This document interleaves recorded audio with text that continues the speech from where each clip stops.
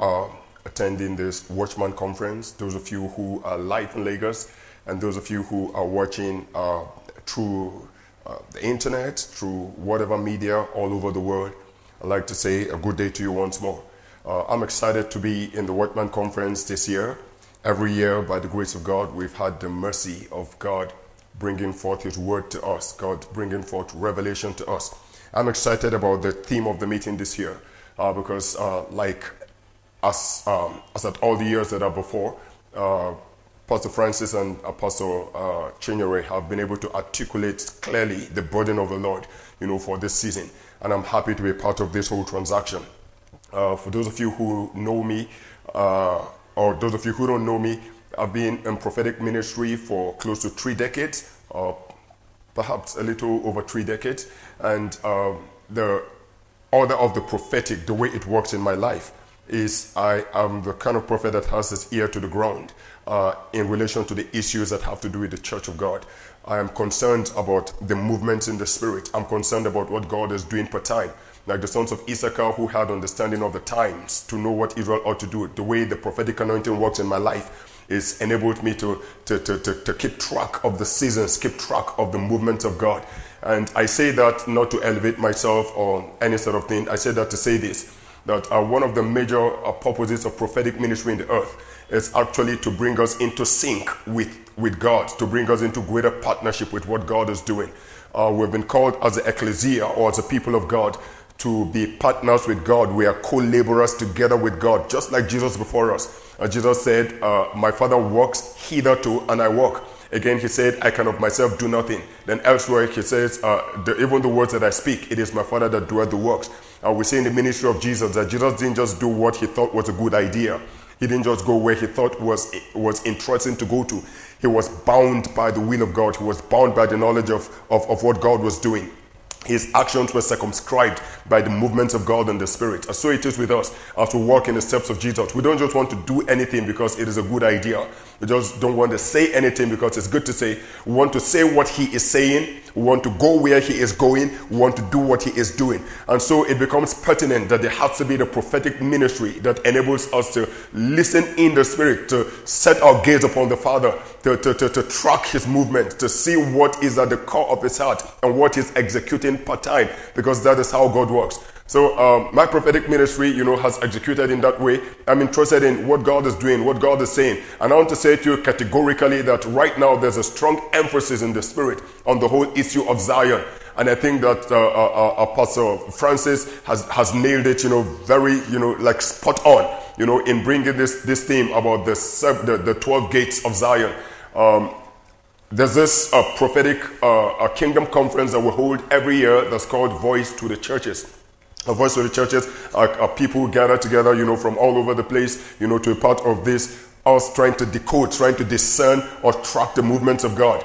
And um, we've held this conference for about 10 years, this being the 10th year for which this conference has been held. And many times after the conference, uh, people begin to hear the theme of the conference reverberate across the grapevine of the church, especially from the West. People begin to say, This other prophet that's, that's, that's renowned, you know, is saying this. This other prophet is saying this. This other prophet is saying this.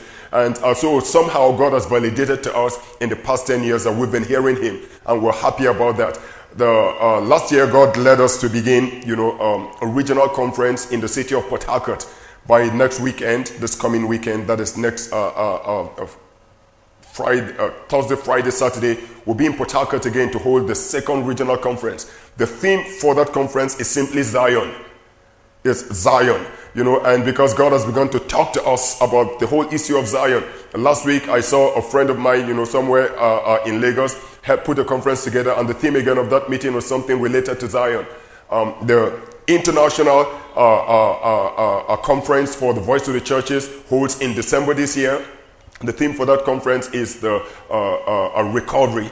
And the whole issue of the recovery of the lost testimony is in view. And what we're looking at again is the recovery of Zion and all of that. So I said all that to say that we're right now looking at Zion, the Lord has his mind upon this concept of Zion, upon this whole reality called Zion. And so I want you to pay attention, very, pay very close attention because the Spirit is saying, is saying something like in the book of Revelation, chapter 2 and 3, uh, when John um, was uh, writing to the churches, the Lord will say by him, He that has an ear, let him hear what the Spirit says to the churches. Now, um, I know that the Watchman uh, uh, prophetic conference is a prophetic conference, it's not a teaching platform. And so I shall lean towards the prophetic more than I shall lean towards teaching uh, we can go off, you know, a tangent describing the gates of Zion, bringing forth exegesis about Zion, about the gates, and showing forth the meanings and all those things. And I'm sure that one or two people may be led in that direction, and perhaps we would need some prophetic preaching or some prophetic teaching. But that's not what I'm going to do.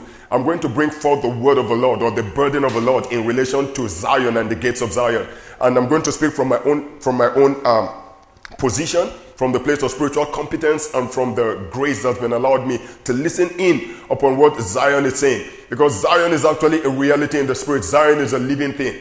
Zion is not a dead thing. There's nothing that God does that is dead. Uh, in our minds, when we read the description of the city of God in Revelation chapter 21, we have the picture of a, of, of, of, a, of a city or we have the picture of a building and all of that. And somehow it is usually difficult to translate spiritual things, you know, to the, to the mind of a man. Because the spiritual things that are high level spiritual information or high level spiritual intel are communicated through imagery, through pictures. So, for example, the prophet will see a, a, a, city, or he will see an army, or he will see an object or something, and he's using that to, to, to, to interpret something that is deep, something that is spiritual, something that is divine.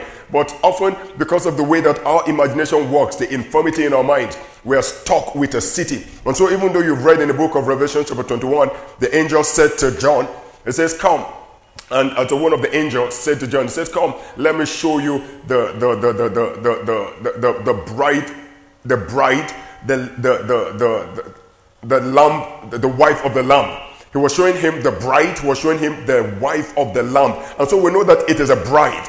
The, because the angel said, I want to show you the bride, you know, but immediately he takes him up to a high mountain and then he sees a city. And then the Bible begins to describe like solid city, walls and gates and foundations. Then we forget the fact that we're looking at a bride. We're looking at a, a, a person. We're looking at that which is married to that which is connected to the Lamb. We're, we're, we're, seeing a city. So in our minds, immediately, we come into these architectural structures where we're looking at uh, uh, uh, buildings and all of those things. But let me say right off the cuff that Zion is not, a, is not first of all, a, a physical building. Zion is a, is, is, a, is, is a realm in God. Zion is a dimension of God. Zion is, is, is, is a state in God. Zion is a place in God. Zion is a spiritual reality that we come into. There are many things that may be used to describe it, but in the end, we're looking at a, we're looking at a, a, a city of light. We're looking at an estate in God. We're looking at a new creation state. We're looking at the, the, perfections inside of God because Zion has been described by many, many names, but we'll get to that shortly. But let me uh, uh, uh, uh start like this by acknowledging my, uh, my hosts, uh, Pastor Francis and Pastor Chinyere. I want you to know that I love you very, very much from my heart, and I feel it's, I count it an honor to be on your platform once more this year, you know, to bring forth the word of the Lord to you, uh, uh, to the people of God. I do have a word of the Lord for you as individuals uh, before I speak the word of the Lord to the people. And um, I believe that uh, I heard the Lord say that he's, he's going to comfort you and it's going to bring you into rest. God, he's, he's going to administer comfort to you and then he will bring you into rest. Then I saw also uh, uh, a, a, a, realm of establishment, of divine establishment that is coming to you and that is coming to your work. I see God touching certain depths inside of your heart and bringing healing in such a way that you would not need any man, no matter what he is or who he is, to validate you in order for, for your ministry uh, to have its influence, or in order for you to be comfortable in what God has called you to do. You not need any, any, any, any associations, any connections to anybody, whoever that person may be. The, the, the, purpose for connections and associations may be so that joint will supply, but not so that you will be validated. Because on the inside of you, you will see the hand of God validating you. On the inside of you, you'll be comfortable inside of the skin of the operation of the of, of the of the, the, the, the ministry that God has given to you. You have a ministry to the church at this time, and the ministry has diverse fronts and diverse faces. But by the grace of God, you go from one face to another until you realize everything that God has given you. This is the word of the Lord for you. I pray that. Uh, uh, uh, uh, you, you find the interpretation very well within your spirits. Amen. So uh, perhaps at this point, I should just say a word of prayer and then we'll, cons- we'll, we'll proceed with the thought. Father, in the name of Jesus, I thank you for the privilege of being called to speak your word to your people or to bring your burden to the people of God. Grant utterance to me in the name of Jesus and grant understanding to the people. Let ears hear, let the hearts respond, let the eyes see in the name of Jesus. Amen. Okay, so um, I'm going to begin uh, uh, uh, like this.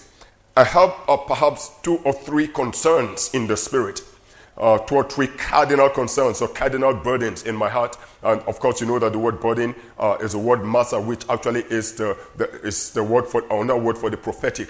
It speaks about uh, the prophetic burden or the prophetic concern that God does in God's heart that God transfers to the prophet. The prophet carries this concern and then interprets it into a thought, says the Lord. So I have a burden, you know, uh, two or three burdens, you know, uh, for this uh, conference. And the first one would be to the wider church out there because I know that many people will be watching this video from different places. People who do not consider themselves part of the advancing church, people who may not uh, uh, uh, uh define themselves as people who have been on spiritual pilgrimage, people who don't, don't, even know what all of these things mean, people who are just happening upon this video for the first time and uh, they're, they're, listening in to hear the word of the Lord.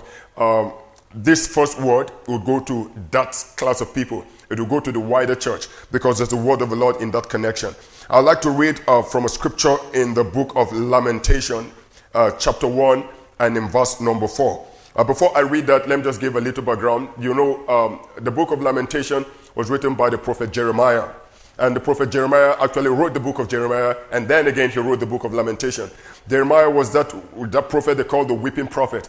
He was weeping because the things that he saw were things that were heavy. They were things that broke his heart. There were things that concerned what God was going to do with Judah, what God was going to do with his people. And there was no, they, were not good news at all. Jeremiah began to see that the people of God were going to be taken into captivity. They were going to be removed from their own land and brought into, into the land of Babylon, where they will be there for 70 years. Now, 70 years is a long time. I'm not 70 years years yet, all of my life uh, together. I'm not yet 70. And I imagine you what 70 years is like. So the people are going to be in, in, in Babylon for 70 years and they're going to be under hard servitude. They're going to be serving the, the pagan king in a, in a pagan culture. And then Zion and, and, and Jerusalem and Judah was going to be desolate. It was going to languish. It was going to be, to, to, to, to, be an eyesore, a reproach to the nations. It was going to be vacant. It was going to be like a, like a ghost town, a haunted town. It was going to be, uh, uh, uh, um, to, to be bereft of all the sounds of joy, all the music, all the songs of the Lord, all the songs of Zion,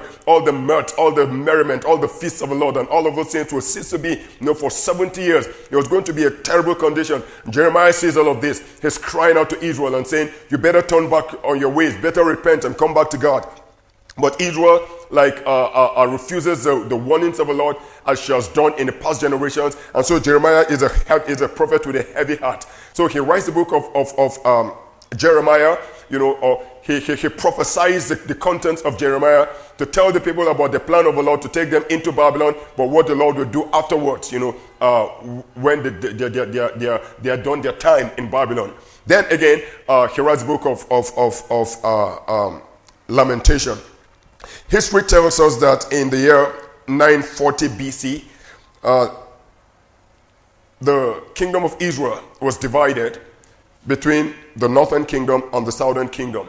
Of course, you know that uh, um, Israel asked for a king in Saul, and then Saul became the first king of Israel. After Saul's passage, David comes onto the throne. The days of David were the days when, when, when Israel came into the, the golden age, you know, of, of, uh, of, of her kingdom. And then the golden age bled right into the days of Solomon. And after that, everything you see after that is a decline. Israel reached the peak of his perfection. And in the heart of it was that David understood that um, uh, um, where he was before in Ziklag, which was his stronghold, was not the same thing as the stronghold of the Lord. And so he needed to find the Lord's stronghold. He needed to relocate his epicenter from a place of his own personal competence, a place of his own strength, a place of his own of his own security into the place of the Lord's security, the place of the Lord's strength, the place that the Lord defines as his epicenter. So what does he do? He goes and takes over the, the stronghold of the Jebusites, and then on the mountain where the Jebus used to be, he sacks them, and then that mountain called the mountain of Zion, there he plants his house, and there he plants the, the, the, the tent of God, and that will be the future place of the temple of God. So Zion became the place that David uh, uh, uh took so that the house of God will be there. And like we know, David is a prophet. And everything he did was based on patterns that he saw in heaven. There is a heavenly position where there is Mount Zion. And that Mount Zion is the city of God, is the dwelling place of, of, God. It is a place where God domiciles himself and where God reveals his glory. Because the Bible says uh, in a scripture in the book of Psalms, it says, When the Lord shall build up Zion, he shall appear in his glory. He will reveal himself in his glory. The Lord domiciles himself in Zion in glory. And so Zion is a house of glory. Zion is an estate of glory. Zion represents the glory, the glory of God. The glory of God is more than the luminous shining of God. It's more than just God shining forth. It's more than just bright light. The glory of God is a dimension of God's perfection. The glory of God is, is a whole economy, is a whole proceeding of God, is a, is a whole realm, you know, of, of, of, of divine doings and divine beings, you know, that, that, that is at the peak of all that God is. And all of that, you know, is going to be communicated in Zion. And so David takes the stronghold of Zion and then passes on, you know, the, the, the, the, the task of building the house to Solomon. Solomon builds the house, you know, and then Solomon reigns in Israel, you know, for several years until the death of Solomon. The kingdom was divided into two among Jeroboam and Rehoboam. And, the, uh, uh this was the southern kingdom having two, two tribes, and the northern kingdoms having 10 tribes. Now, the northern kingdom was called Israel. Now, Israel was, had this propensity to fall into idolatry. So very soon she mixed with the nations of the earth. She, the Assyrians overran her and then uh, uh, uh established uh, the, the, the, the, the capital was in Samaria. And of, as you know, the Samaria, you know, was a place of mixture. It was a place where the people of God were, were brought into, into, into, into uh, uh, affiliation with other nations they mingled with other nations and then they mingled with the gods of other nations. And so Israel represented a, a, ground of mixture. But Judah, you know, was pure for a while. But even Judah herself began to de- depart from the standards of God. And then God said, I'm going to send you to Babylon to the king of, of, of, of Nebuchadnezzar, to the king of Babylon, that's Nebuchadnezzar, to discipline you for a period of time until I bring you back into this land. And so we see that in 606 BC, King Nebuchadnezzar arrived, you know, in, in, in Judah and then he sacks the city and takes away all the nobles. He takes away all the all, all the princes. He takes away, you know, all the all, all, all, all those who had any kind of uh, uh, uh, a promise in their lives and carries them as slaves to Babylon. And then uh, we're told uh, from the scriptures that in the uh, 20 years later, the king Zedekiah, who was left in, in, in, in, in Judah, rebels against the king of Babylon. And the king of Babylon gets mad. This was 20 years later. And then comes back to, to Judah and then sacks the city, carries the rest of the people that were left into Babylon, except the feeble ones, are the, the people that might consider very useless, like the old, the, the, the, the, weak, the sickly, the beggarly ones. He left them out, you know, in Judah, and then took anything that had any kind of value or any kind of promise. You know, the first time that the, the exiles were carried into Babylon, uh, Ezekiel the prophet was one of those who were carried. And Jeremiah remains still, you know, in, in Judah. The second time when Zedekiah comes and sacks the city, this is what he does. He burns the temple, burns it to the ground. Then he burns also, he destroys the walls and destroys the whole of the city and turns it into a ghost town. And so many, many years later, when we look at, at, at, at Judah, we see a place that is totally desolate, a place that has no glory, a place that is a was being, a place that used to be a center of divine activities, a center of joy and glory in the heydays of David, in the heydays of Solomon, the, where, where, where, when gold was common, you know, like, like and, and silver was common like, uh, like a, a sand and all of this stuff. All of those days were gone. Now the city was in ruins. And um, it is into this that Jeremiah writes the scripture that I'm about to read right now in Lamentation chapter 1, verse 4. And this is what it says The ways of Zion mourn, because no one comes to the solemn feasts. All her gates are desolate, and her priests sigh. Her virgins are afflicted. Now, this is a sorry state to, uh, uh, uh, uh to, to, be in concerning Zion. The way to Zion Mount. Uh, there's, a, there's a man called Dominic Balli who actually sang a very beautiful song based on this, on this scripture. He says, On the rocky road where the streets are worn, on the rocky road, while her daughter slave, the road to Zion mourns, the road to Zion mourns. She called, but no one comes, while her daughter slaves, the road to Zion mourns. He said, the road to Zion mourns. That's what uh, uh, um, uh, Jeremiah tells us. He said, the road mourns. It says, because no one comes to her feast, and all her gates are desolate, and her priests sigh, her virgins are afflicted. Now let me look at the word, uh, the gates are desolate. What does that mean?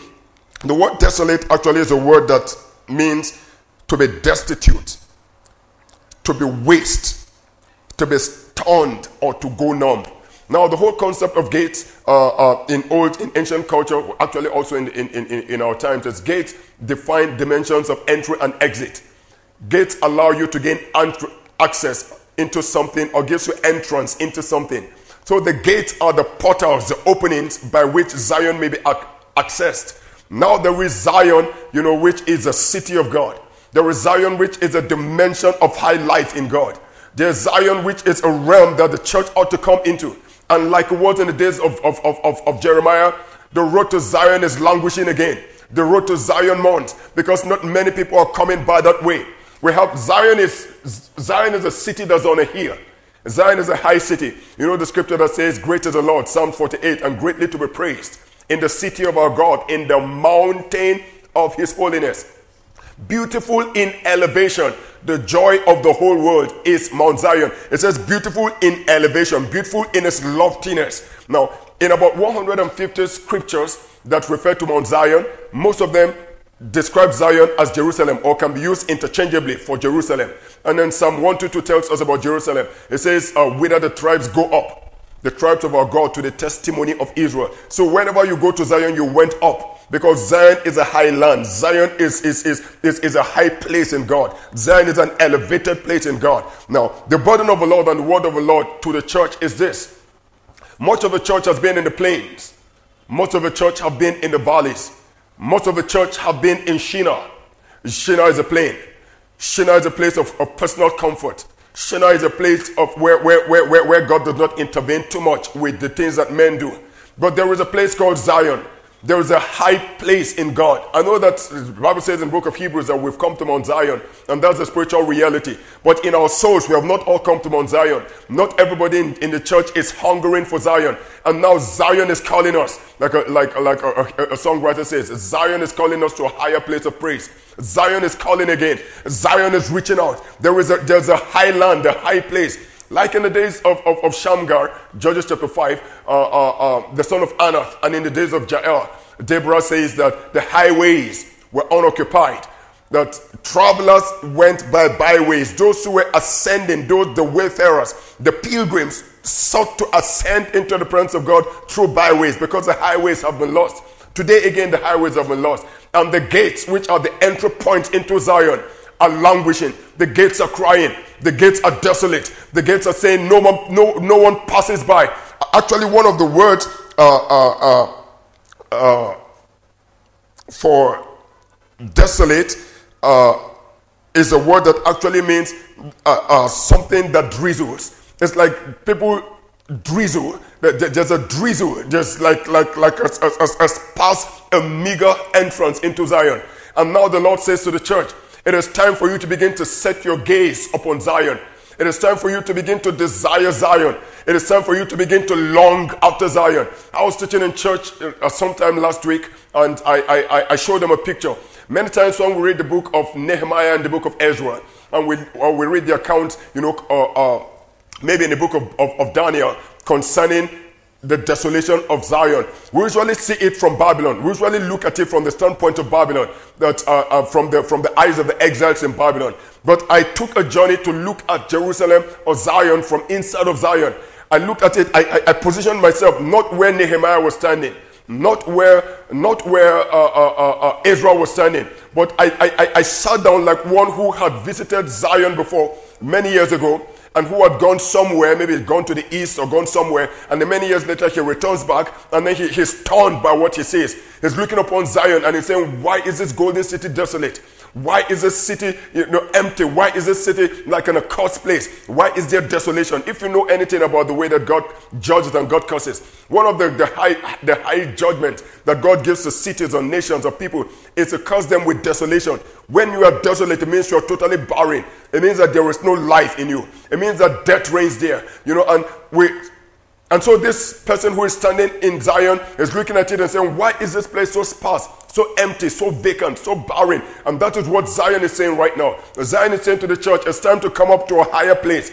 It's time to come up to a place of praise. It's time to come up to a place of nobility, a place of majestic thought. It's time to come into the deep revelations of God. It's time to come into the place of God's perfection because Zion is perfection. And then the gates, the, the gates are open to let people in because we see later on in the book of, of Revelations that the gates shall not be shut. The gates are not shut. It's just that the people are not coming through the gates. So scripture says, go through, go through the gates. Is a command to us, go through. It is time to go through the gates. God is calling on the church. You have dwelt in a plain for too long. You have dwelt in Ziklag, your own personal stronghold. You have dwelt in the, in the caves. You have dwelt in the place of comfort. Now you need to come to the high lands. You need to come to the high places in God. You need to come from where you were. Now the, the, the, the, the, the, the places where the church has been in have not been able to confront the enemies that have come to our gate.